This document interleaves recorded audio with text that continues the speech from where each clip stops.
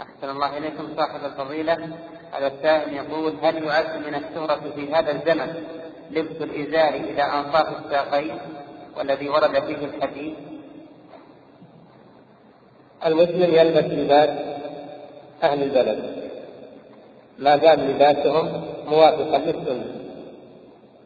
فيلبس لباسهم ولا يخالفهم في اللباس ليكون هذا شهرة بينهم.